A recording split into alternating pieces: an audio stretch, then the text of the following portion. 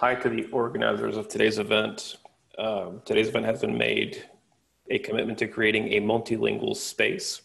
To that end, we have the interpretation available into Spanish and English.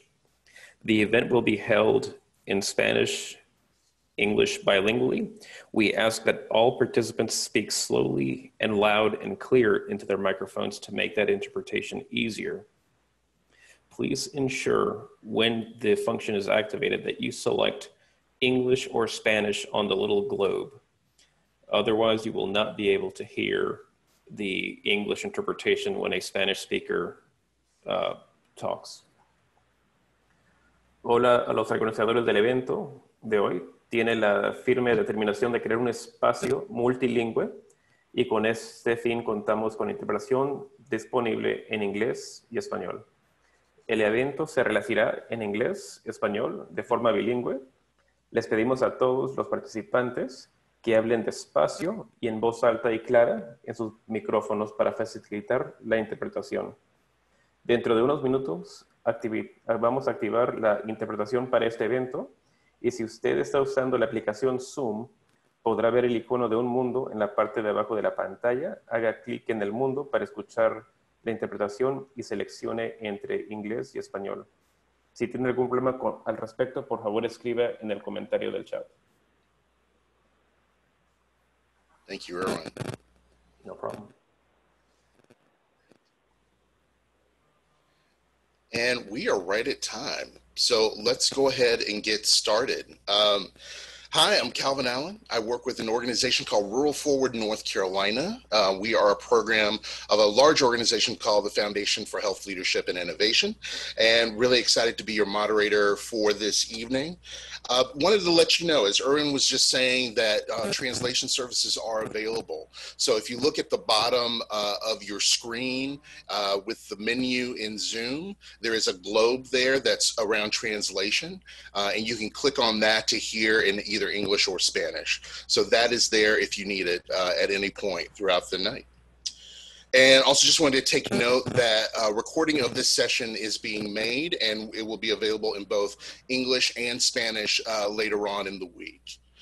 And so with that, let's go ahead and get started. Um, we're excited tonight to be joined by Jessica Holmes and Josh Dobson, both running for Commissioner of Labor uh, Steve Troxler and Jennifer Wadsworth, both running for Commissioner of Agriculture, Jen Mangrum running for Superintendent of Public Instruction, and Yvonne Lewis Holley running for Lieutenant Governor.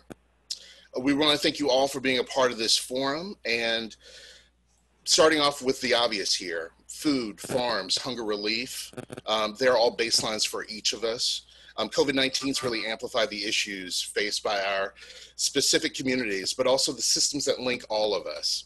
Um, that's why we're hearing from candidates on these vital issues uh, and why doing that is so important. What is their experience with food systems issues? How do they propose we address community issues and community deficits with equity in mind? How can we build upon our farming and food assets?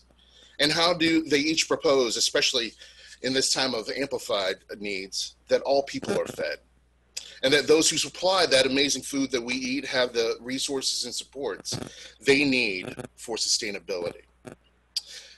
All of us who are part of this today are one of over 370 people that registered for this event, and we anticipate more joining us um, over the evening. In November, we'll all have the chance uh, to vote for who can best answer these questions in North Carolina. And that's why the organizi- organizers planned this conversation with candidates. It's to provide a virtual, nonpartisan candidate forum to hear state level candidates discuss important issues related to food, farming, and hunger in our state. The next slide uh, uh, shows the planning team and the organizing agencies Moms Rising, the North Carolina Rural Center, Carolina Farm Stewardship Association, Feeding the Carolinas, the North Carolina Alliance for Health, Second Harvest Food Bank of Northwest North Carolina, the Food Bank of Central and Eastern North Carolina, and the Rural Advancement Foundation International USA. Regarding our agenda for tonight, uh, in just a few minutes, we will start with quick candidate introductions. The bulk of our time will be spent asking each of the candidates five questions on food, farms, and hunger that emerged from your feedback. We'll provide an opportunity for closing statements from each of the candidates. And we'll seek some real-time feedback from you through some quick polling we'll do right at the end of the evening session. And we'll adjourn at 8.30 p.m. Um, we ask you to keep notes on how this format works. We all know that this is not how we planned it, um, but we all are adjusting to uh, COVID 19 and this change in circumstance. At the end of the session, a link will appear automatically for some quick evaluation. Uh, it'll also be sent to your email addresses um, after the session is ended too. Um, but if you're like me, I know I want to go ahead and get it done. Um, so that link will be there. But if you want to do it tomorrow, that option is there too. With that, let's talk just a little bit about the guidelines. Um, I'm going to seek responses to those five questions on farms, food, and hunger from each of the candidates. Um, they will each have 90 seconds to respond. Prior to the event, the order in which the candidates would receive and respond to questions was randomly selected and sent to the candidates. Candidates are not going to have the opportunity for rebuttal. Uh, candidates are asked to limit their responses to the subject matter of the questions asked and refrain from personal attacks against other candidates. If necessary, I'll step in. Uh, a timekeeper, my colleague Phil Sheldon, um, will alert individual candidates directly through Zoom chat when their response time is nearing an end. Due to the limits of this format, live questions from the audience were not possible, but you submitted questions when you registered for the event. Those submissions were considered in the selection of the final list of questions uh, overall. Each candidate will have a minute for a closing statement, and then the event will be recorded through Zoom and again shared on social media and in special uh, email communications, again in English and in Spanish. With that, I think it's time for some opening statements. So, to our candidates, we thank each and every one of you for joining us this evening. Um, I'll now ask each of you to introduce yourself, including your name, where you live, what office you're seeking, and why farms, food, and hunger matter in North Carolina today. Um, looking at the candidate response order, Jennifer Wadsworth, would you start us off? Hey, y'all. My name is Jenna Wadsworth, and I'm the Democratic nominee for North Carolina Commissioner of Agriculture.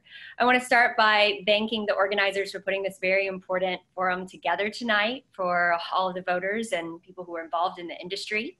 And for the last 10 years, I've been elected in Wake County as the Soil and Water Conservation District Supervisor, uh, a role that I've been proud to serve in for the 1.2 million people who call this county home uh, since we made history with my first first election in 2010 when I became the youngest woman ever elected to any political office in the state.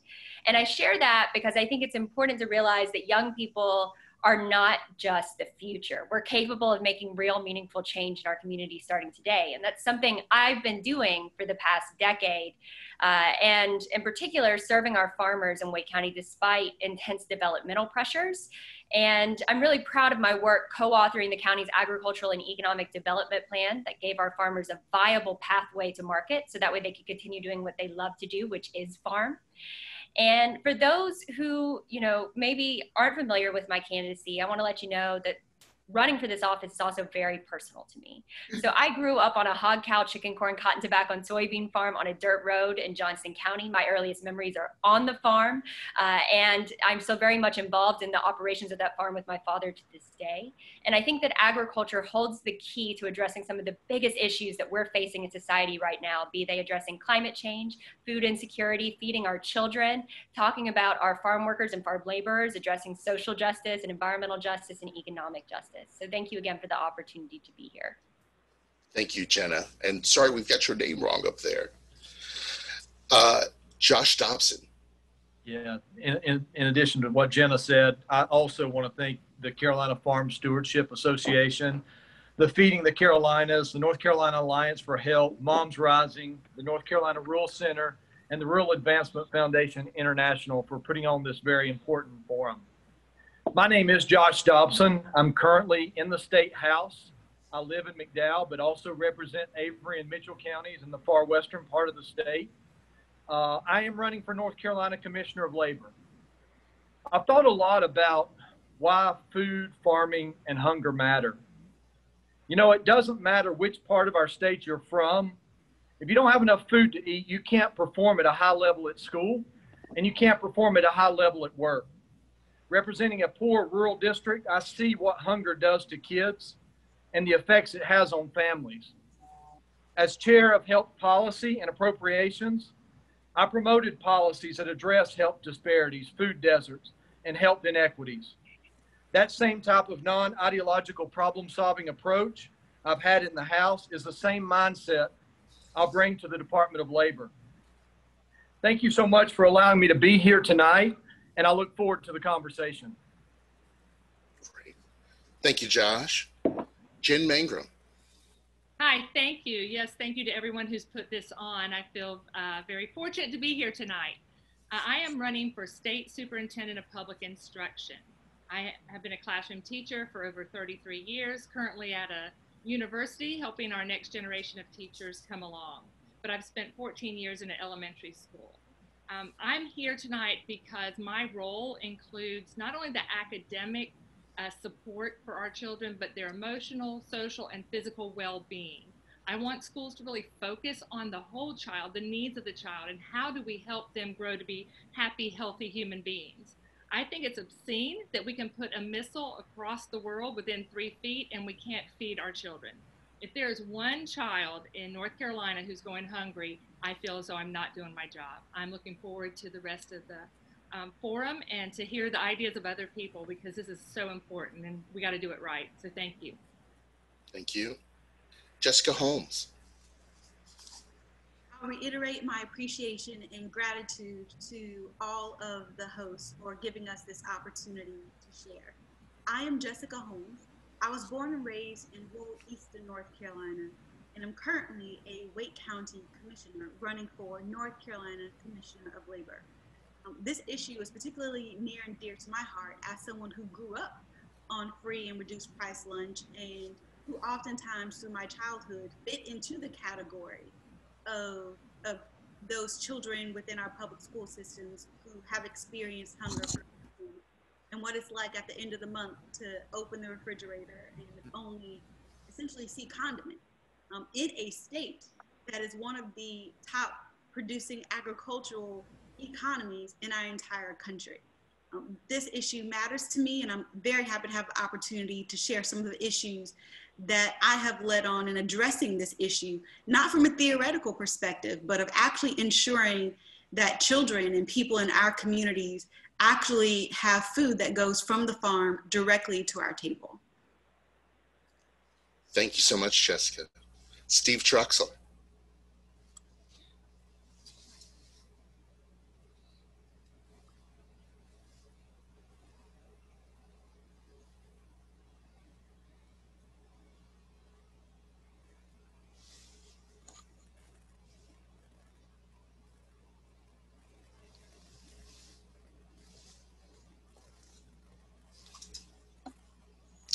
Steve, are you there?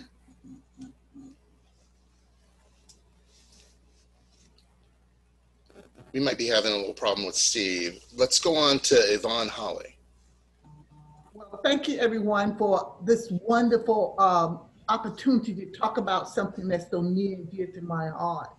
And I say that it's been near and dear to my heart because when I first entered the North Carolina General Assembly, I was the one that brought food deserts to the attention of my colleagues um, because I had recently lost a couple of grocery stores in my community and found out that what was as important in my district was even more important and uh, the situation was worse in other areas, especially some of the more rural parts of the state. And I worked very diligently um, the whole eight years that I've been in the North Carolina General Assembly representing District 38, which is part of Raleigh, in introducing them to food and making sure the communities get to be food secure and that uh, there is enough food available for everyone. Because if you're hungry, you can't work. If you're hungry, you can't you can't go to school and, and, and think well. And it's just too an important part for a state like North Carolina to have the wonderful, wonderful agricultural system that it does. And then yet we come in so low in, in being able to feed our students. Uh, it has gone up, it is better, but it's still not there yet. So I uh, welcome the opportunity to talk about food security tonight and some of the things that I've done in the General Assembly. And let's uh, let's let's get this started. Thank you, Steve Troxler. Calvin, can you hear me now? I can. All right. I'm Commissioner of Agriculture Steve Troxler, and I want to welcome you to my home and my farm here in Brown Summit, North Carolina, about 10 miles north of Greensboro. Uh, and I have been your Commissioner of Agriculture for the past four terms. It's been an incredible honor to do that. And I'm seeking my fifth term for this office. Uh, agriculture and agribusiness remain the number one industry in North Carolina at 92.7 billion. That's with a B. Uh, and I've taken great pride in seeing this number grow from 59.6 when I walked in the door uh, of the Commissioner of Agriculture during this time, I've been afforded the opportunities to be in regional leadership and national leadership, serving as the president of uh, the National Association of State Department of Agriculture, the president of the Southern Association of State Departments of Agriculture, and a two-term uh, president of SERPPAS, uh, an organization of the military, environmental groups, and state and federal agencies. So I'm glad to join you and look like uh, look forward to the conversation tonight. Great, thank you. And now that we've heard uh, who everybody is, let's get into the, the major questions here. The topics are going to be around the, uh, the following issues food insecurity and hunger, child nutrition programs, uh, supporting Black farmers, farm workers, food processing, and issues facing Latino and Latinx populations, and the COVID 19 pandemic. And the first question, uh, which will go to Josh Dobson, is this one. North Carolina is the 10th most food insecure state in the country, while at the same time being the 10th most agriculturally productive state in the nation. The COVID 19 pandemic has highlighted weaknesses in our food systems, which we have also seen with natural disasters such as hurricanes in past years. What solutions will you offer to create a resilient food system that nourishes all North Carolinians in the face of future emergencies? Thank you for the question, Calvin. You know, there, these consequential and monumental problems that we face as a state, there, there are no silver bullets. There are no quick fixes to the problems that we face. But what we can do is offer policies that address those issues that you just mentioned. Uh, in this last COVID bill that we passed in the state house, we added $6 million to the food banks in North Carolina, 1 million for each one of the food banks. I think that's a start. Uh, we addressed health disparities in our state. We increased rural health grants, which allowed uh, homeless shelters to pay a physician's assistant to provide health care to those areas. Those are the types of things. I also sponsored Carolina Cares, which was a way of closing the coverage gap in North Carolina. So there is no silver bullet, but there are things that have been done in the state house, house to address this, this area and this issue of uh, food inequities in North Carolina. Thank you, Josh. One quick note is that, um, you know, this is Zoom. We're having a few problems with translation. So we do want to let people know that uh, we're doing the best we can to kind of try and fix the issues. If we can't fix those issues, we'll make sure that there's a translation of the entire session uh, by the end of, um, of the week. Uh, and then next up, Jessica, Jessica Holmes. I will note um, very specifically, as someone who grew up in rural Eastern North Carolina, who knows what it's like to sweep water out of our living room after hurricanes. Um, you can't talk about farm preservation, particularly in Eastern North Carolina, without talking about climate change. And the fact that due to climate change, we are seeing hurricanes at greater frequency and greater intensity as well. So that is something that we have to acknowledge and address when we talk about um, natural disasters such as hurricanes. Um, another issue that we have to be realistic about is farm preservation. Um, as our population continues to grow, um, development is putting pressure. Um, so we have to work with our farmers to make sure that they are able to continue farming in light of pressures related to um, development. Um, I would agree with Mr. Dobson that there is no silver bullet, but there are absolutely policies and initiatives that we can put in place to better support our farmers and ensuring that they're able to keep farms in their families. Thank you, Jessica. Steve Troxler. After every disaster that we've had in North Carolina since I've been the commissioner, we have responded with USDA food through our food distribution uh, division in Butner, North Carolina. And uh, it makes you feel so good to be able to get this food in. I know in uh, Florence, we were able to get food into Wilmington when nobody else could. We work with organizations like Baptist on Mission to feed people during disasters, but we also deliver food to the food banks in North Carolina and the feeding institutions and the schools. And I'm proud to say that this past year we delivered over $130 million worth of USDA food, which is an all time record for what we've done. But we also have got some new programs that we're going to bring in to make sure that we have a resilient food uh, economy in North Carolina. First, we have $20.4 million that we'll be investing in harvest capacity at our uh, smaller harvest plants and medium-sized harvest plants where animals are prepared and, and brought to the, the table. Uh, we think this will help a lot of small producers and medium-sized producers sell directly to the, the public. We have a uh, we have a program called uh, our uh, farm uh, feeding program where uh, people sell directly to the public. Also, we're going to be working with RAFI and with Carolina Farm Stewardship on a program that will help our smallest farmers markets in North Carolina. We have $750,000 to do that. I look forward to distributing this money. Thank you. Jenna Wadsworth. Building a more resilient food system won't only benefit our farmers, it'll benefit communities throughout the state.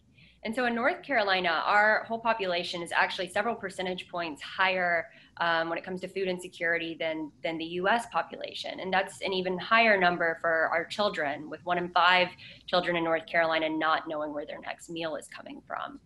And when we talk about COVID 19, I think it's just highlighted exa- and exa- further exacerbated existing disparities within our very broken food system.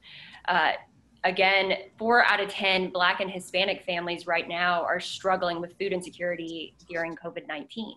Uh, people are out of work at record rates and they're having to rely on food banks and nonprofit partners at unprecedented uh, rates in North Carolina. And it's been really amazing to watch some of these nonprofit partners step up, but it's unfair to ask them to continue operating at that level when we have other tools and resources available to us that we're just not using effectively. So I actually uh, pushed for legislation that became Senate Bill 776 that would have helped to make a more resilient food system here in North Carolina and would have helped benefit farmers with a tax credit to donate their food to nonprofit partners and get that food to where it needed to go. However, there were people in the legislature that were unable to put aside partisan ideology in order to create policy that would actually make a difference in people's lives. And I think that we absolutely can do better by investing in small and local food systems, by working with federal partners to extend the minimum benefit for SNAP.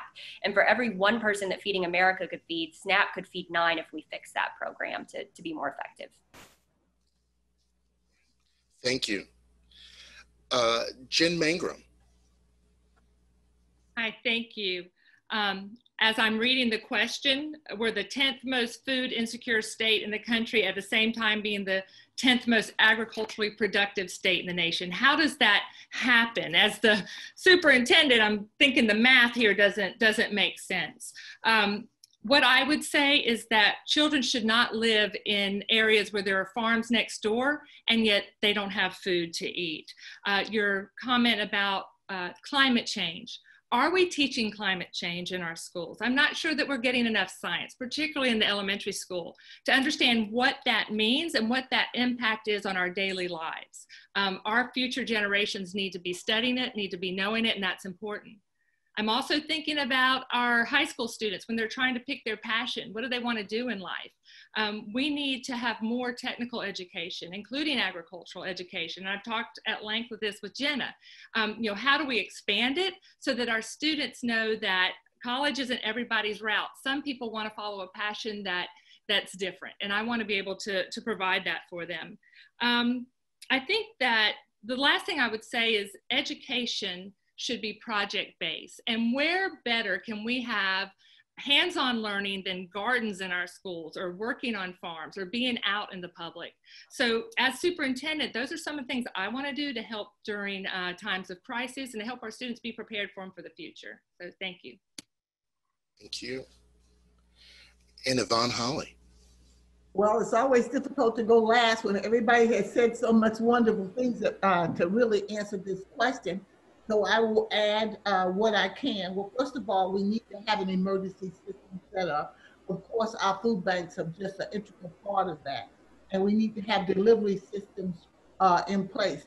Instead of uh, us looking and sending so much out of state, we have an emergency, we have contracts where maybe the eastern part of the state and provide things for the western part of the state. They have an emergency, uh, and, and vice versa, a system that's in place. Uh, one of the things that we learned is that a food desert is when, if you're in the urban area, when you do not have access to food within a mile. But in rural areas, it's as much as 20, 25, and in some places 30 miles before you will have access to a grocery store. And just because you live on the farm doesn't mean you're secure, because that farm may be a tobacco farm, or it may be a um, not offer all the nutrient rich foods or variety of the foods that you need. So that too is something that we need to take a look at. Uh, I was instrumental in getting uh, the corner store initiative in, which brought nutrient rich food, which is bringing nutrient rich foods to convenience stores and small stores and mom and pop stores uh, in uh, predominantly in the eastern part of North Carolina, where they have been hit the hardest by some of the hurricanes. That's only a sample of what can be done. We need to do more of that across the state and set up a system that uh, of checks and balances for these emergency kind of situations. Thank you.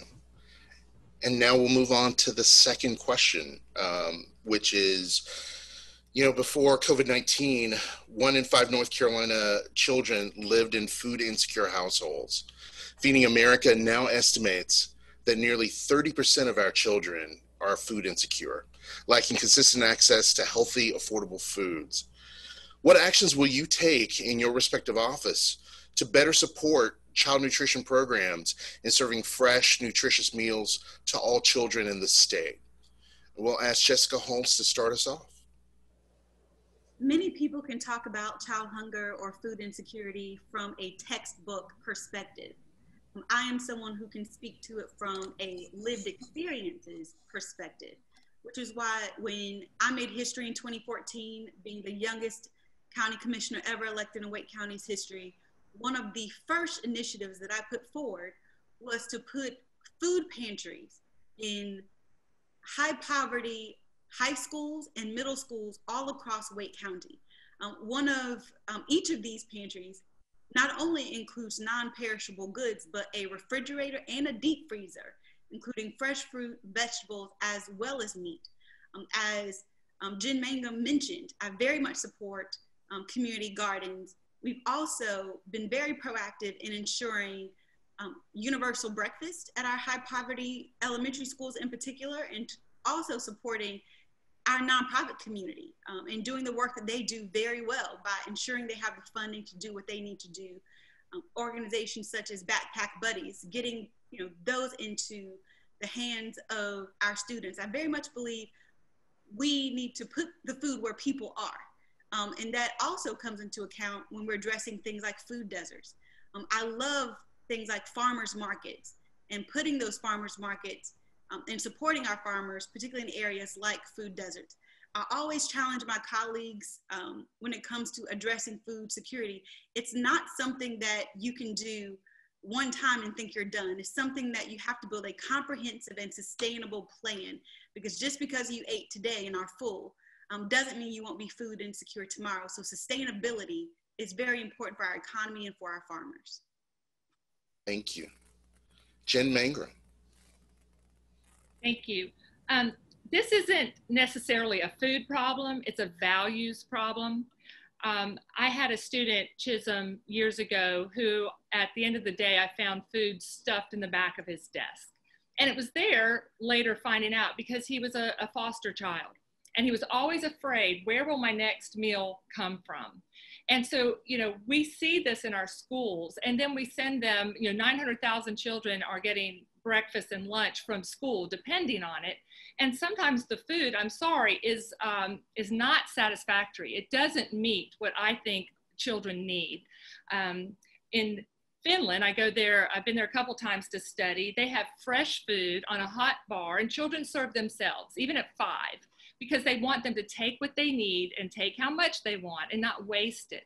And I just think if we thought about children like Chisholm and we thought about kids that want fresh food and good food so they can grow up understanding uh, the difference between that and a frozen pizza that came from, you know, who knows where, uh, that our children would live better lives. Uh, we need to put policies in place in our schools that will lead to better nutrition, uh, better health care, um, and protect our children from, you know, eating junk, I'm gonna say junk, uh, and not looking after themselves. So I'm excited to get a chance to work with, um, you know, the people on this panel and figure out how to make schools a place where food is attractive and exciting and uh, supports local farmers. Thank you. Steve Troxler through our food distribution division, we work with all the child nutrition directors across North Carolina to deliver the healthiest food that we can possibly get to the cafeterias. And uh, one thing that I can tell you that is unique in North Carolina is since we have this food distribution division, we're able to run a farm to school program where we are able to go directly to the farms, pick the products up as fresh as they can be, then deliver them to the uh, school cafeterias. And this helps fight uh, especially obesity from uh, kids eating uh, maybe food that's not so nutritious. And I mentioned uh, the money that we're going to spend with uh, with small farmers markets. We want to make sure that all of our small farmers markets are healthy economically and innovative and be able to get uh, farm products directly to the public and, and, make sure that this is a nutritional uh, diet that they do follow. Thank you. Yvonne Holley. Well, uh, first of all, I just think that I've, my heart has been broken uh, about uh, the kids now who are home that are food insecure. Uh, we have to look at the fact that so many of our children and students were getting their nutrition, the majority of their nutrition at schools. And uh, now that they are home and parents a lot of times budgeted for maybe one meal a day and are being forced to supply three meals a day. And I think our food banks have done a wonderful job and so many of our for nonprofits are trying to help fill that gap. I personally have been out there uh, at about six in my area uh, uh, assimilating food, uh, nutrient-rich foods to, to everyone. Uh, we need to, one of the things that we did do with the um, food desert bill, when we started studying this system and looking at what North Carolina had, we had a committee and we realized at that time that North Carolina, there was millions of dollars in federal funds that were not being used for summer feed programs. Money that North Carolina can use to offer nutritious food during the summertime. And that is something that really good came out of that committee is that now so many of the counties and officials are using that those funds to feed our students during the summer. But during the COVID, that even though there's money put in it, access is still limited. Uh, I am very concerned, and it's not just children now, it's also our elderly population that uh, are stuck at home and not able to get what they need. Thank you. Oh, Jenna Wadsworth. I think it's absolutely criminal that a state that's a major agricultural player, not just nationally, but on the international market, has child hunger rates of one in five. We can and we will do better. So, in addition to working with federal partners to extend and reform the SNAP program. So it actually is far more effective in serving our communities that need that help, that need that hand up, uh, right now in, in North Carolina, about 40% of SNAP recipients actually have children. So this is an issue that they're facing, and this is a way that we can begin to reform the program and make a meaningful difference throughout North Carolina. I also have a plan to put a garden on every school ground. Uh, I think it's a great way to teach our children about where their food comes from, to understand nutrition and horticulture and expand agricultural education programs. Uh, I've been endorsed by the teachers union, so I know this is something that teachers are excited to get to work on. Uh, and in my role as a soil and water supervisor over the last 10 years, we've made significant investments in environmental education programming because I know that our children have to live with the brunt of our inaction when it comes to climate change unless we begin to elect a leader who from day one is unapologetic in their commitment to addressing the climate crisis. And part of that means looking at how that crisis affects agriculture and food insecurity. Uh, and uh, you know, I think that there's so many things we can do to, to change what the food desert landscape looks like. We can support our farmers markets, make sure that SNAP benefits are available there. And not just that, teach people who buy food from farmers markets how to actually use whole foods uh, effectively. Because a lot of, like uh, Dr. Mangrum referred to, a lot of folks are eating preservative and pasteurized foods at Dollar Generals that are the only, the only stores available in their areas. Thank you. Josh Dobson will round us out. Thanks, Calvin, for the question. You know, I've thought about this a lot. What can the labor commissioner do to promote policies that address child hunger? And there's really two places that I think that the labor commissioner can best serve that role. First, as a member of council of state, collaborating with the commissioner of agriculture, the superintendent of public instruction, and obviously the governor to advocate for policies that address child hunger.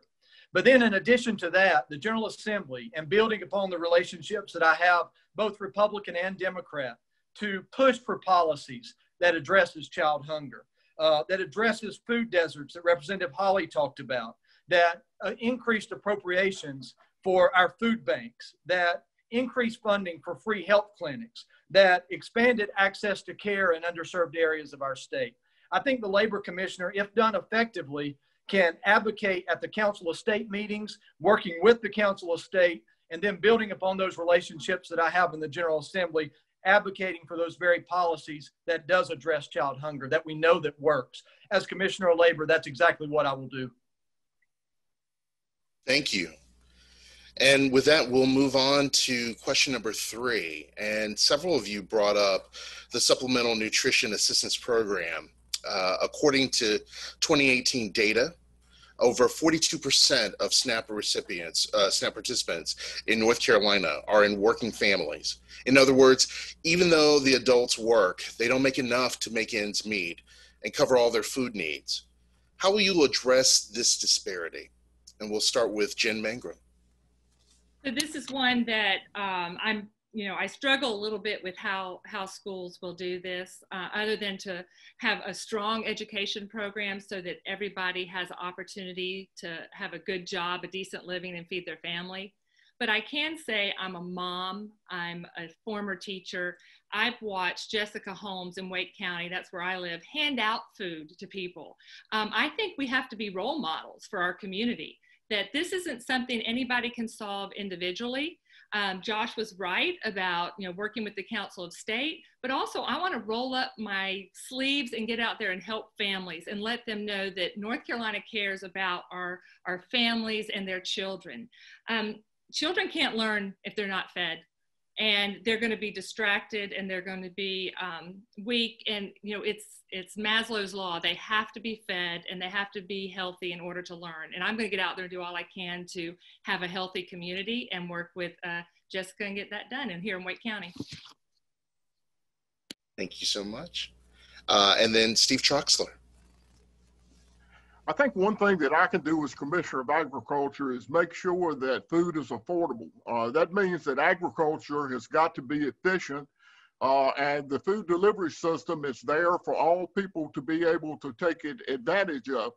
Uh, if the food needs are not met, we will continue to do what we've been doing. We will deliver the food to the food banks, to the feeding institutions. We will work with the faith-based organizations to help them get through the hard times until they, they get to the point that they can once again meet their needs. But uh, we've been through the pandemic, and I know this has been a, a terrible time for people uh, especially those that lost jobs and that are uh, on, un, on unemployment insurance. So we're going to do keep doing our part to make sure people are fed and they're fed nutritious foods. Uh, and I, I, but that efficiency in ag- agriculture to have a safe, affordable food supply and an abundant food supply is going to be the key to the future as we move into a time when this world is going to have, uh, they say, 10 billion people in it, uh, we've got to be able to feed them, and it's a moral responsibility that all of us in agriculture shoulder. Thank you. And Josh Dobson, if you jump in. Yeah, thanks, thanks, Calvin. Uh, being from Western North Carolina, we struggle uh, economically, we struggle geographically, and I've seen challenges even before the COVID 19 crisis. And then after, it's just been exacerbated uh, exponentially. I, I think, as labor commissioner, the best way to make sure that employees are safe and employers are prosperous is through collaboration and working with both employees and employers. That's the way I've tried to work in the North Carolina General Assembly to get things done, and I think it served served me well. Uh, I'm proud of that work, and I think that same type of mindset is what's needed at the Commissioner of Labor's office to work in collaboration with employees and employers through training, through education. Uh, so you have that on the front end so you don't have accidents on the back end. That's the way that you keep people employed, and that's the way that you keep employers and businesses prosperous so they can pay those workers what's needed. Thank you. Yvonne Holley. Well, I am just thrilled and delighted that you asked this question. And I want to talk about a little bit off just beyond food here.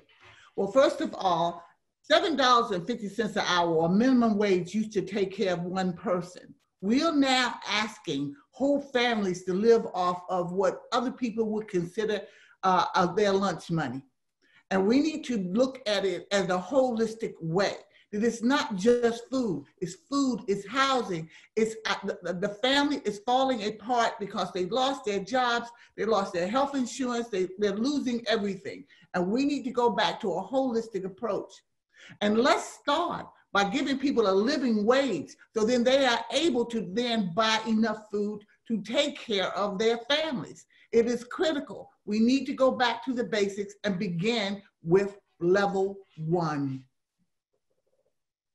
Thank you. Jessica Holmes. Agreed. Um, very well said, Representative Yvonne Holley. In some ways, the question answers itself when I look at the statement, they do not make enough money um, to make ends meet. Um, the reality is that we need to increase the minimum wage. Um, it has remained stagnant while the cost of living has increased. And there are several things that North Carolina can do and that I can do as your labor commissioner, such as using my voice to fight for better wages for our workers. Also, addressing and fighting for Medicaid expansion. Because when you look at things that, quite frankly, are putting many North Carolinians in debt, you look at affordable housing, you look at the cost of healthcare. You also look at issues related to inefficient transit systems across our state. Um, so we have to start with getting more money into the hands of our hardworking workers. And right now, you see so many people thanking essential workers. Well, they can't pay their mortgage with our gratitude and our appreciation. Uh, we need to pay them a living wage. We also, right now, during COVID 19, greatest public health crisis of our lifetimes, we also need to ensure hazard pay for those workers that are lifting up our economy at this most critical time. Thank you. Jenna Wadsworth, if you'll close us out on question number three. People facing hunger in North Carolina are estimated in needing over 700 million additional dollars in order to cover their expenses and be able to put food on the table. Uh, you know, I would I don't, I don't think that we'll get any argument here when I say that in America we've become accustomed to cheap, quick, and easy when it comes to our food. Uh, we've seen so much consolidation, in particular in the agricultural industry, and so much consolidation of power and access and, and control of the, the the meat pipeline and everything else, especially on the federal level. And as more small farmers have gone out of business, as they haven't had resources and new market opportunities, they haven't been able to thrive and be successful and help feed their families and, and fill in some of the void in these food deserts, uh, we're seeing people experience increased rates of hunger and you know it's it's hard to ask most folks to to shell out an extra dollar or two for locally grown sustainably ethically morally produced food that costs a little bit more from their local farmers uh, when as several of my colleagues have already alluded to wages have largely been stagnant in this country since the 70s which is also why i am in support of a living wage instead of just a minimum wage in this country. Uh, more than that um, we have to talk about how healthcare is tied to employment. We have to extend and expand Medicaid access, especially people in rural communities that don't have access to transit in order to get to a hospital or a high quality medical facility easily or quickly. Um, and so, you know, I think COVID 19 has shown us that the system is broken, but if we're being honest, it has been broken for a very long time for a lot of people. Thank you. Um, just want to make a note here. We know a few people have joined us, uh, and we are in the middle of our conversation about farms, food, and hunger um, overall, uh, hearing from our candidates. Didn't want to apologize again for the translation issues, but we will make sure that uh, this whole session is transla- translated and is available in Spanish. We're now in the middle, we're moving into question four out of five. And the next question is this Food system workers, specifically the Latinx community, have been disparately impacted by COVID 19 due to work environments, lack of access to health care, and job loss. What steps will you take to address the short term and long term needs of food, systems work, food system workers and the Latinx community in particular? And I'd like to start with Jessica Holmes. I'll share a statistic that is very relevant across our state. Um, we know the realities that Black and Brown persons are disproportionately impacted by the COVID 19 pandemic. For example, in Wake County, Black and Brown people make up about 34% of our population and about 70% of our confirmed COVID cases. Um, specifically, as it relates to Latinx workers, um, as it relates to agriculture, um, they face three, among many other challenges. One being high, um, housing as it relates particularly to migrant workers who are often working in um, and living in very close quarters where they're not allowed or unable to socially distance. Um, they are also um, less likely to have positions that come with healthcare benefits. Also, we all know the challenges all across our state, hospitals are closing, um, which is very unfortunate considering that we're in the midst of a pandemic.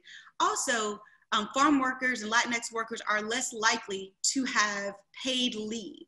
I can't tell you how many workers across our state have come to me with the challenge of do they go to work, um, although they may have symptoms, or, or, or do they risk their lives in an attempt to make ends meet?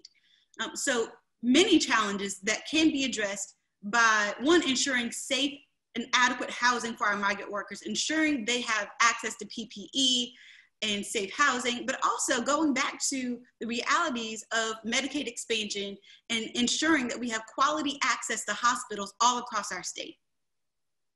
Thank you. Jenna Wadsworth.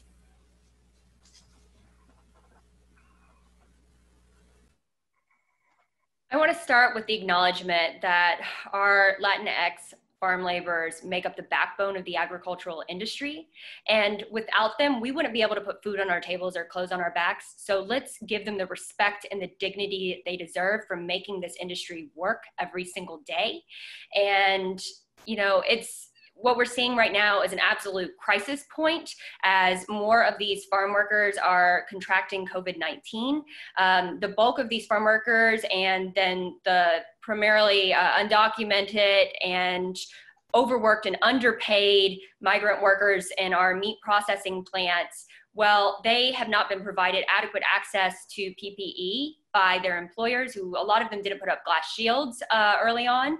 Um, not just that, they have a very physically intensive, demanding job, uh, and you know they are working long long hours. They either don't have access to health care they're scared to take a day off of work because their h2a visa status could be put into jeopardy if they don't show up. They're scared to go to a hospital because they're scared that ice will be staking that out and could round them up or their family.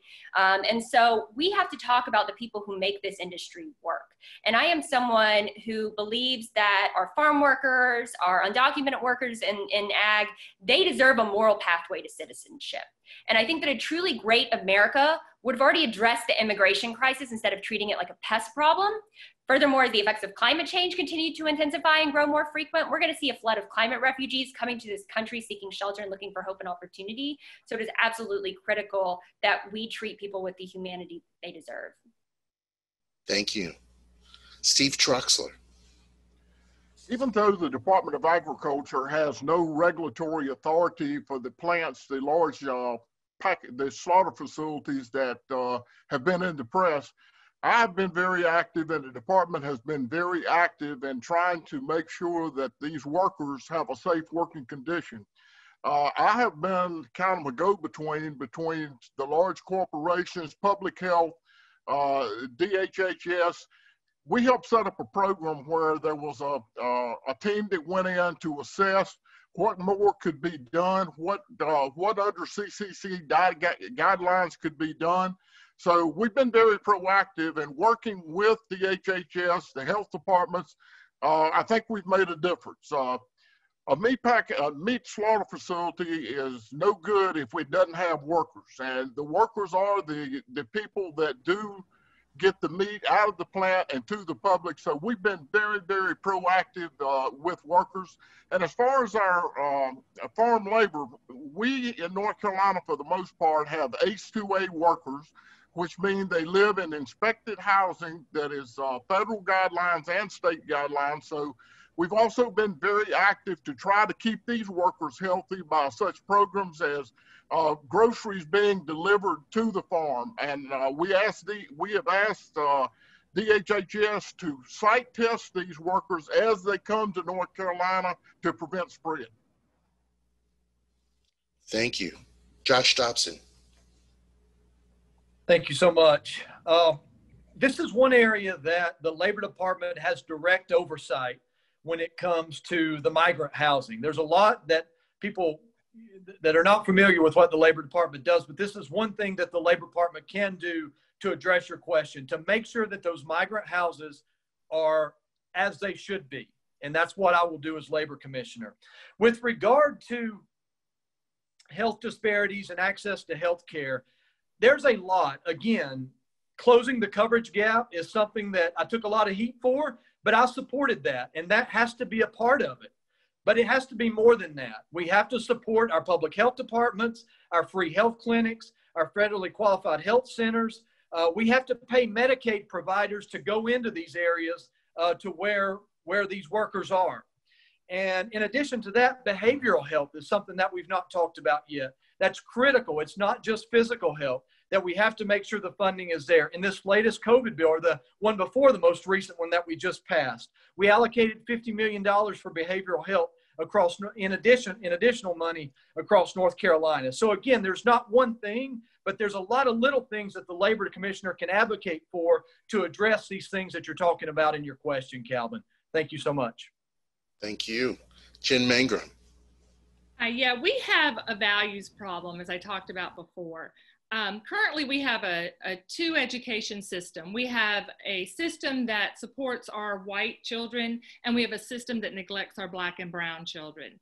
Uh, one example, the General Assembly is responsible for curriculum. I don't know if many people know this, but if you look at the fourth grade curriculum, which is learning About North Carolina, there's a standard that says our students will value our monuments and a direct link to the Confederate statue in front of the Capitol.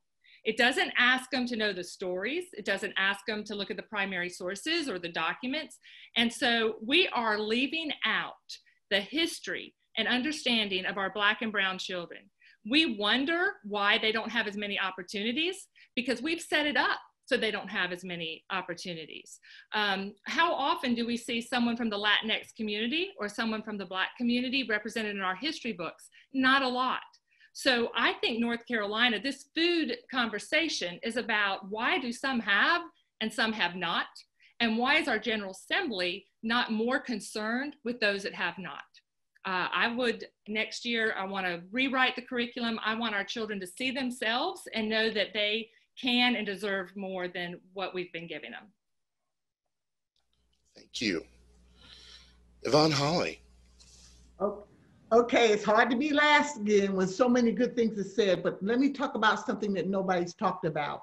And that is the fact that inequity in just among the essential workers and the treatment and the respect that was given. Most of our medical uh, people in our hospitals were given uh, staying in hotels. We, we worked very hard to make sure they had the proper equipment and protection things that were done for them. And we uh, uh, kept them on the front line. People brought them food. People did everything they can and are still doing to make sure that our healthcare workers in particular are taken care of. We aren't doing that for people who are working our food systems.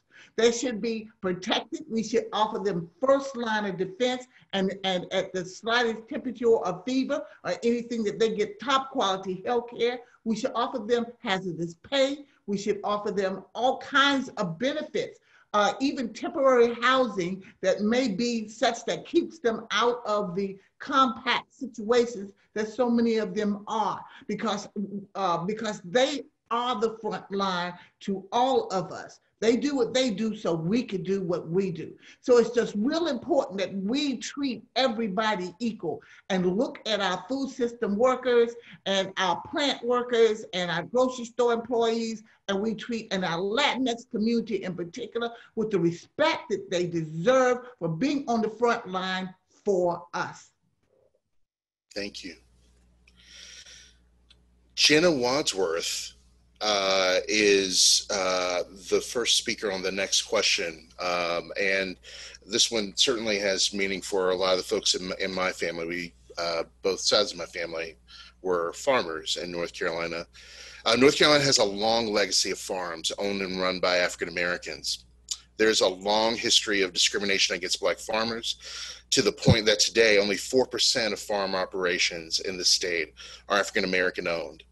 If elected, what will you do in the role of your respective office to support Black farmers and other underserved farming populations, such as beginning farmers, female farmers, or small scale farmers in North Carolina? Jenna? I want to start by saying Black Lives Matter, Black Farmers Matter, absolutely, and without any caveats. And I encourage you to read the op ed that was published by the Fayetteville Observer that I wrote after Juneteenth talking about the plight of our Black farming community in North Carolina. Uh, black farmers in this country own one tenth of the land now that they did a century ago because of a dirty history of discrimination on part of USDA, the Farm Service Agency, predatory lending practices, or lack of access and awareness to the resources that would be available to them. I believe that we should support these small business owners and allow them to be successful in competing in our economy. Um, and I have been so excited to see so much community support galvanized around these black farmers markets over the last few, few months. But I'm also disheartened that a lot of the black farmers I talked to that went about um, creating these initiatives did so because they didn't feel welcomed or supported at the state run farmers markets. So I think that, you know, there's a lot of room for improvement to, to do better uh, by, by uh, farmers who traditionally don't have a seat at the table. And we know that representation matters. Um, sometimes some of these voices aren't being heard in the Department of Agriculture. And I'm someone who believes that you cannot effectively lead or govern from within an echo chamber where everyone else's experiences mirror your own. And so I'm about giving people a seat at the table, allowing them to be a part of this discussion. I actually um, have been speaking to Black farmers since day one, and we have been working on a targeted plan to change the future in North Carolina. Thank you. Invite Yvonne Holley in. Oh, thank you so much for this question. You have such good questions this evening. Well, first of all, I would like to point out the fact that as a family, if you are in a family and one of your children is in need or is in sick, sometimes you have to take extra resources and put it to that child so that child is able, they're brought to the point of the other members of the family or they're made whole or well again. Well, that's what we need to do in some of these instances of discrimination and underserved communities. We need to do the investment in the problem. And if the problem is you are not getting them loans, if you're not helping them with the same things that the other farmers are having, then you need to do so. You need to make a special effort. It's like when you're teaching children in a school and, and someone is falling behind, you, you start a special program to enhance the education of those kids who are particularly in need. We need to do this for our farmers and bring them up to a level that they are and should be equal partners and being able to get the same kind of loans, the same kind of seeds, the same kind of treatment and contracts that everyone else is getting. Uh, it is a discrimination that uh, has happened across the world. It is. It won't be solved quickly, but there are policies and procedures in place. And as your next lieutenant governor, I will do everything I can to make sure that attention are brought to these issues. And I will lobby my friends at the General Assembly to make sure that we can bring our farmers, our black and, and female and underserved small farmers up to a standard that a lot of the other farmers deserve and enjoy. Thank you. Jessica Holmes. I'll start by noting that feeding people isn't something that is a partisan issue. Um, as the next labor commissioner, I will use my voice on the Council of State to address some of the disparities that have already been acknowledged, such, that, such as the reality that many of our Black farmers don't have access to the resources that some um, non-minority um, farmers have access to. Um, one unique challenge in the Black community um, that is a legal term is heirs property. Um, we need to do a better job of ensuring that our Black farmers know what their options are and that they are better protected from development and making sure that you know, they are able to keep their farms in their families and address those challenges. Um, I, we have a problem, we have a solution when it comes to food insecurity and food deserts. But yet we have Black farmers who can't sell their produce. Um, this is one reason I will absolutely support um, more farmers markets, particularly Black farmers, and quite frankly, using their produce to address food deserts in what tends to be Black and Brown communities. So we, we have a problem, we also have a solution. We just need to do a better job of connecting um, those farmers with the needs that are already apparent in our communities. For example, ensuring those Black farmers um, and those um, in their communities have access to their the produce that they grow. Thank you. Steve Troxler, we'd like to invite you in. Within the Department of Agriculture, I have a small farm section that work almost exclusively with uh, with black farmers, uh, farmers that don't have a lot of resources, small farmers uh, each of these four employees are African American and they spend their time helping farmers uh, get through some of the federal programs that they don't understand. It's been unforgivable that in the past we had only 3% of minority farmers that were using federal programs. We're changing that. We work with A&T State University on their small farms program and the things that they do to work with uh, especially small and minority farmers. Uh, so we're trying to do our best. In fact, this morning I was at A&T State University uh, highlighting the small farm section and their small farm program. And we had, we had two minority farmers there. Uh, and it was so heartwarming warming to hear their stories about how we had helped them be successful in what they had endeavored to do and how they had grown over time. So that is the way that we're approaching we're uh, approaching this problem. We are helping uh, we do work exclusively with this group of people, so I'm very proud of this section. Thank you. Jen Mangrum. So look at my colleagues that are running with me, Yvonne Holley, Jenny, Jenna Wadsworth, Jessica Holmes, and myself. We are people of color and we are women we understand the needs of those that are marginalized. If you want to help North Carolina, you need to select people who are as diverse as the population of North Carolina. One of my goals is to have an Office of Equity at the State Department um, of Public Instruction. So, right from the beginning, we're going to talk about race and racism. There's an ugly history that we have not been open to talking to. Um, black farmers are not um, doing poorly now because of something that happened yesterday. This has been a long standing, continuous concern. And whoever's been in charge up till now hasn't done anything. As an elementary teacher, a professor, I'm not running for power or notoriety. I'm running to make North Carolina better. And if you want to make North Carolina better, you need to pick people who want to see that North Carolina, all of North Carolina, is represented. Um, I assure you that our children are going to grow up being better than we are and are going to leave the world better than we did. Thank you. Josh Dobson. Thank you. Uh, being an elected official doesn't make you an expert on everything. And some of the best pro- policy proposals that I put forward come from listening. And I would want to visit those minority farms and listen to the concerns and listen to the issues that are being faced. And listen to solutions that those that own minority farms have. And then go about advocating and putting policies into place that that help them move forward. And that's what i would do. I would start by listening. And then after i listen go about advocating for those policies that help those that most need it Thank you very much.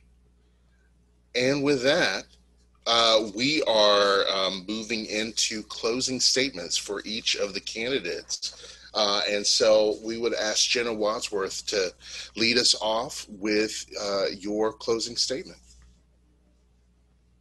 So again, my name is Jenna Wadsworth, and I'm running to be your next North Carolina Commissioner of Agriculture to create a more sustainable, just, and equitable future for every single person who calls North Carolina home instead of just the select few. I am running to be able to serve the more than 40,000 farmers in this state that get up and work hard every single day, and a lot of them are struggling and having a harder time now than what they were over a decade and a half ago. They are experiencing farm stress at record rates. Part of that's because we're not addressing climate change or recognizing that it's real. You can't just write a relief check. That can't be our solution to dealing with every natural disaster. That's why I'm committed to creating a division within the North Carolina Department of Agriculture that works to specifically address climate change, resiliency building, looking at organic, renewables, how we connect urban farming, how we look at uh, the great research that A&T is doing, uh, HBCU that often often doesn't get funding or the credit that it deserves. Um, I want to create new market opportunities. I want to reform the discriminatory hemp licensure process. I want to talk about legalizing cannabis, which could be a huge economic opportunity for our farmers and rural communities, as well as an opportunity to achieve true social justice for communities of color who are disproportionately locked up on the basis of possession charges versus Caucasian users. We're going to address food insecurity. We're going to talk about bridging the urban rural divide through meaningful investments in rural healthcare and rural broadband. And I need your help to do it. Thank you so much. Josh Dobson. Yeah, thank you again, Farms, Food, and Hunger, for this conversation and this civil discourse, which I think we need more of. Uh, when I was the, the main job of the North Carolina Department of Labor Commissioner is to keep the employees of North Carolina safe. When I was putting myself through school, I worked as a correctional officer back in Western North Carolina. And we made a pact every day before we walked in that we would walk in together and we would walk out safely together. That's the same mindset and same focus that I want to bring to the Department of Labor to make sure the employees of North Carolina walk in together and walk out together.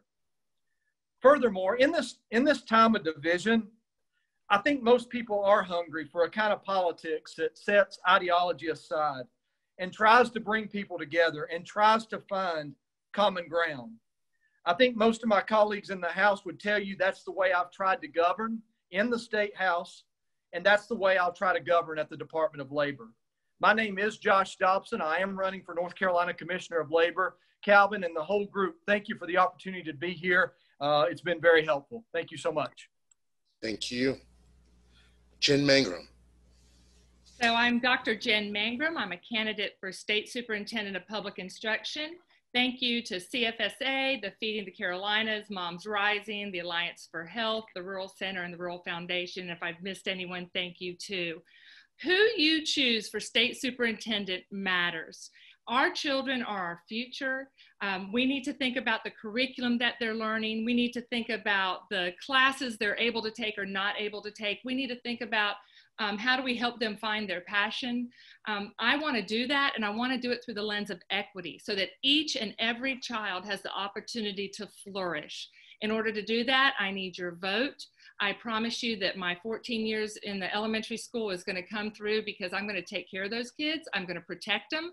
And I'm going to make sure that North Carolina has the best education system in the country. Thank you, Dr. Jen Mangrum. I look forward to hearing from you more uh, as we get on closer to November, and I hope I get your vote.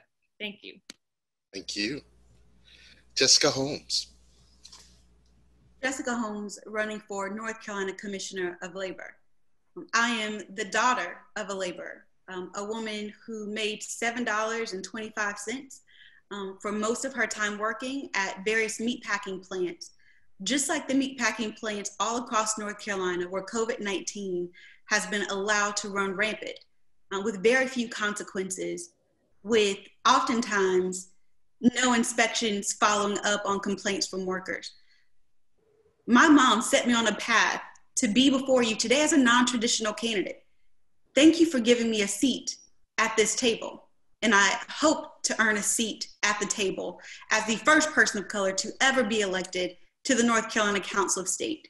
My mom sustained a workplace injury long before I understood the concept of workers' rights. My mission is simple to ensure safe and healthy work environments for all North Carolinians. Your party affiliation does not matter. I want you to go to work and go home with the same 10 fingers and 10 toes that you went to work with. My mom was not given that opportunity. I want to make sure that all of our workers across our state do. Jessica Holmes for North Carolina Commissioner of Labor. Thank you. Steve Troxler. North Carolina law requires that the Commissioner of Agriculture be a farmer engaged in their profession this year, I filed my 47th consecutive Schedule F on my federal and state tax return. If there ever was a time that we needed experienced leadership, it's now. This Department of Agriculture is recognized as one of the best, if not the best, Department of Agriculture in the country. And that's the reason I'm seeking this fifth term to carry out some of the exciting projects that we have got going including the North Carolina Agri-Science Center in Raleigh, a $120 million lab facility, uh, a, a, specialty crops program that we have with NC State. Uh, and I want to carry out the programs that I mentioned that we have just got funded to the legislature. I ask for your support and I ask for your vote as a fifth term Steve Troxler, Commissioner of Agriculture. And Yvonne Lewis. Holley, excuse me. I want to thank you all for this opportunity to speak to people today who are concerned about the well-being of the human capital and the most valuable asset in North Carolina, its people. I, I look at the organizations that are doing this and you have, you have a variety of organizations who are participating. And here we have the opportunity to put wraparound services and take care of people in a holistic way. It isn't just about food. It isn't just about housing. It's about uh, it isn't just about healthcare. It's about putting all that together and let's making North Carolina stronger. I have spent eight years in the North Carolina General Assembly as a gladiator, fighting for Medicaid expansion and some of these battles. Yet I have still worked across the aisle and gotten things done. I've gotten things done in the areas of food insecurities uh, because when you're hungry, you don't say, Are you a Republican or a Democrat? You say, I need some food. And I have to say, I've been very successful at it. I will take those same skills to work with my colleagues in the House and my new colleagues in the Senate as the next Lieutenant Governor of the state of North Carolina. And I will work with organizations like you to, to help this come about. Now, to close it all out, I must say one thing. I'm not here to be something. I'm here to do something. And my doing is to help the people of North Carolina. So thank you. Thank you. And thank you to all of our candidates uh, as well. We are at the 815 mark. And we've gotten some amazing information from all of the candidates, but we also want information from the other folks who are part of this experience as well. So we've got two polls that we would like to put up now and get some information from you. So poll number one is asking simply, you know, when you think about the issues that were kind of put forward to the candidates overall, if you had to name the top two that the candidates should pursue if they're elected, which two would you pick? So it's up on the screen right now. Pick the two that you think uh, that they should uh, work on first.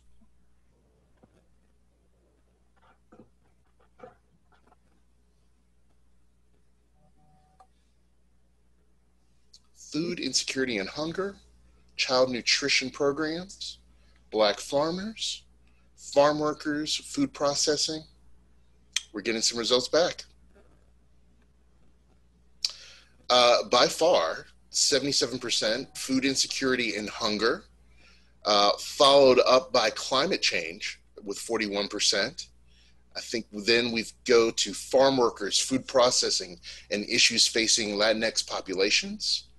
I think then we go to COVID 19 with 24%, black farmers at 19%, and child nutrition programs at 15%. All right. Here's question number two. Um, and, you know, this is no no big surprise. We want to know if you got what you needed from tonight. So, has this forum better inform help uh, help to better inform you on how you're going to vote? Yes, no, or I'm not sure yet. Has this forum better informed you about how you'll vote?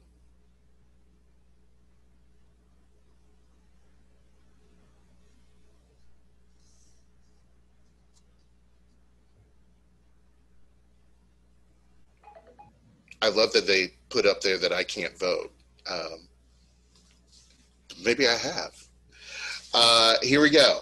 Yes, uh, 92% a few folks are like, no, not really, um, three um, percent, and some people are just not sure. They're at five percent um, with that. Thank you all for participating in that. That helps us as well to understand a little bit about kind of where people are and what you've gotten. Um, as we've mentioned already, that as you close out of here, there'll come up a link uh, for some quick evaluation. So doing this virtually is difficult. Uh, and we want to get your feedback about what worked, what didn't work, what we could do better. So please fill that out if you can. You'll also, if you don't, uh, if you miss uh, filling it out with that link, it'll be emailed to you um, as well. Um, I also just wanted to, uh, in closing out, the the organizing team really wanted to make sure that we talked about the census. And you know we uh, we know that currently 40% of north carolina households have not yet completed the census which represents an estimated 4 million north carolinians and over 7.4 billion in funding. Now you can complete the census by phone mail or on the internet by following the instructions on the slide right here also, you know, November uh, is coming faster than you think. It's really important to have a plan for how you're going to vote. Um, so whether you're voting by mail or voting early or voting on election day, the key dates that you need to know about are on this slide. So please uh, keep track of that. And also, just thanks to all the hours put in by our sponsoring organizations and everyone who participated.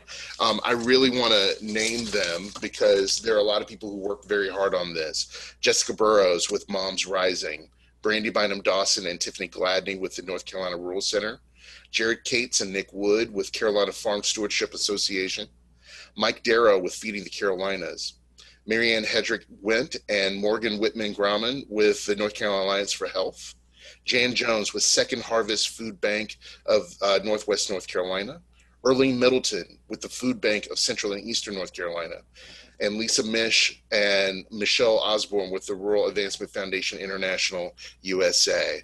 I also just really want to uh, thank Jenny Grant with the Rural Center for being our tech expertise, as well as Philip Sheldon for keeping us all on track tonight. Uh, so, with that in mind, uh, please remember to fill out the evaluation. And again, thank you for being a part of this. Take care, everyone.